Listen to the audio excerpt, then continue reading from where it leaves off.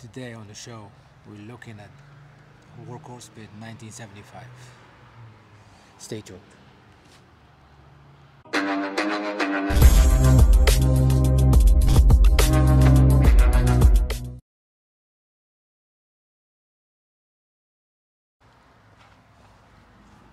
Hello friends, welcome back. I get a lot of questions about this smoker from people who either wants to buy one or in the process to buy one and try to go over the specs of this smoker and what I think after a month of use. So let's get started.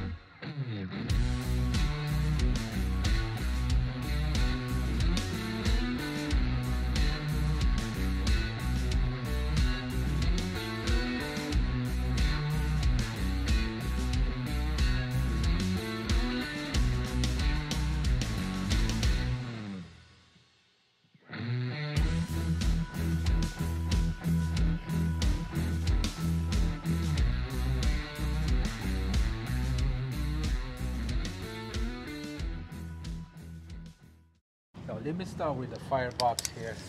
Actually, it's a firebox slash a cowboy grill. Two grates, 23 by 26 cooking chamber. We have upper grades. This is an option. You upgrade to, and we have a bottom grade. These are 23 each, 23 by by 23 so bottom grade total we're looking at 48 by 24 diameter. The whole pit is 24 so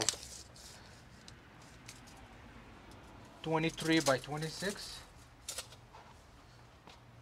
17 by 40 48 by 23 firebox measurement is 24 by 27 upper grade I mean the cooking chamber is 24 by 48 smokestack is 45 inch. We have a, a bottom grate here for storage. That's 20 20 by 38 pneumatic casters 8 inch. The most impressive thing about this pit is is the thickness of the steel.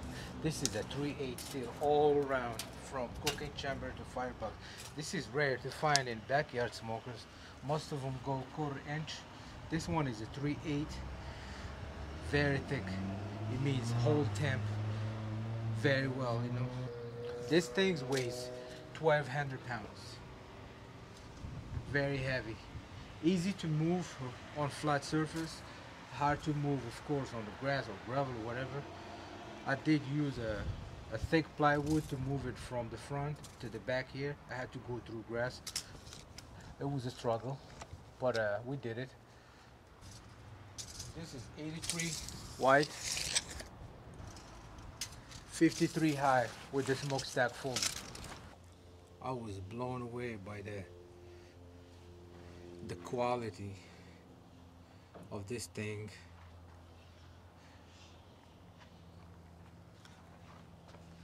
Pictures and videos don't do it any justice. The welds are clean on point. Everything about this thing is on point. Zero complaint. Highly recommend this thing. It's a beast I've been cooking on it for a month now and every day it gets better. It takes a little time to get to know it but after a few cooks you'll get a hang of it.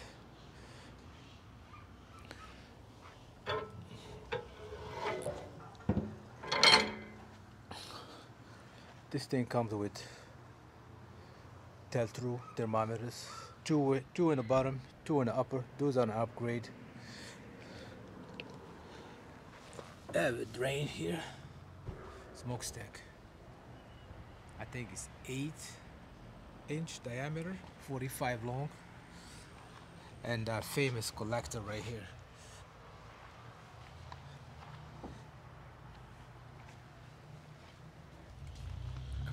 Oddly enough I was born this year. Which makes it even better. And uh, all I can say man this thing is a beast. Highly recommended for anyone in the market looking to buy an offset smoker. After looking at a dozen builders I settled on Workhorse Pit and I don't regret it. I hope this video helped anybody in the market for a smoker. I couldn't find anything on YouTube explaining everything about it besides the maker's YouTube channel. That's it. That's pretty much it. Not a regular user review or overview or anything whatever you want to call it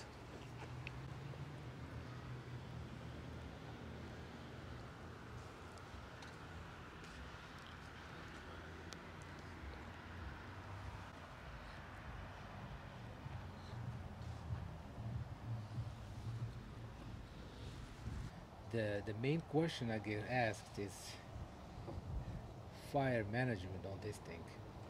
All I can say is after two three three cooks, this thing is uh, as easy as it gets, man. When to manage your fire, the steel is thick, firebox is huge. It makes it an easy job to maintain your fire with less fuel and uh, recovery time on this which means when you open the pit it drops a little bit but as soon as you close the door these things go back to whatever temp you had it on before in no time. Very impressive. All I can say man I'm very happy with this.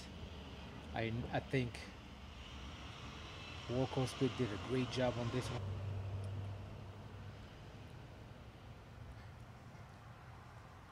like I said before man uh, videos and pictures don't do this thing justice. This the 1975 for backyard size that's a big size right here. I'm not complaining though. I could use all the real estate I have on the grill. One thing I haven't touched yet is the the door right here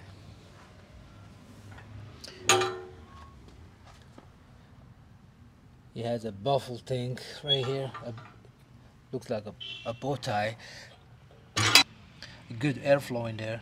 I usually, I really don't use it. I just go like this. This is how I manage my fire. Cracking the door, you know. Like I said, man, this thing is huge. Almost forgot about this here. A pro port I can fit four easy in here. Four probes. Folding stack easy for storage.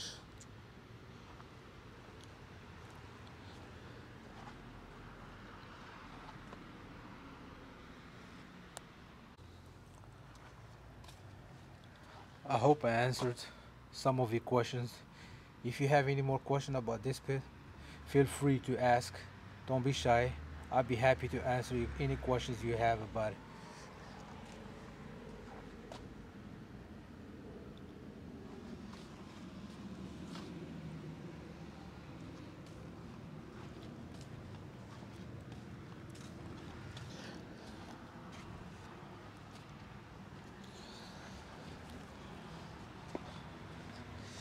that is it for this video thank you for tuning in don't forget to subscribe if you like this content. I'll see you in the next one. Now I do like the shirt